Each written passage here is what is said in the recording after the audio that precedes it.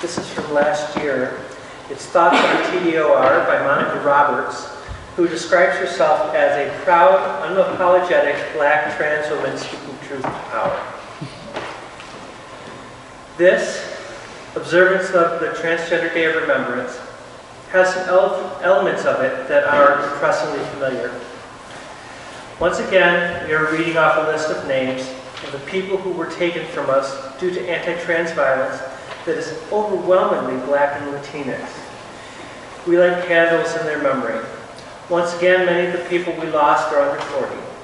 When we know how they died, we are aware of the fact that many of them experienced horrific violence in their last moments on the planet.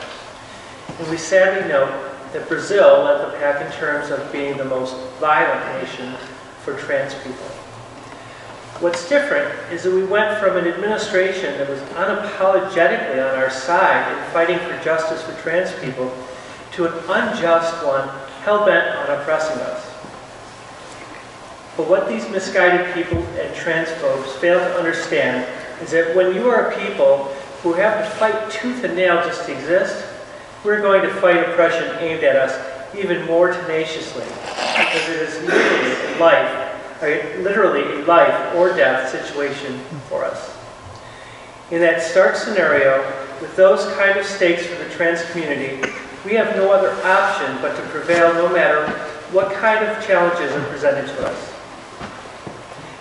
And far from eviscerating us from everyday life and force us back into a closeted existence as our opposition is trying to do, we are becoming even more visible and more of an integral part of it from media to politics. We will also have, when 2018 dawns, trans folks repping their const- constituents and out community in the Virginia House of Delegates and the Minneapolis City Council. So yes, while we trans people, our families, friends, allies in this day think about the over 275 people around the world we lost to anti-trans violence, TDOR is a day more so for those of us who mourn them. Once we leave the various venues holding the memorial services around the world, we steel ourselves for the challenging at times task of fighting for the humanity and human rights of the people who, to borrow the words of Miss Major, are still effing here. The best way we can honor those we lost is to fix society to the point that we make the TDOR obsolete.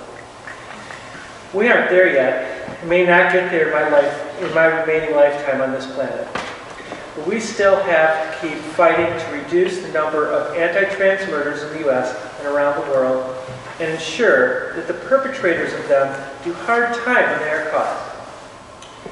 How fast will that day happen? Good question. But I can guarantee that it won't happen fast enough to keep me from writing another TDOR post 365 days from now.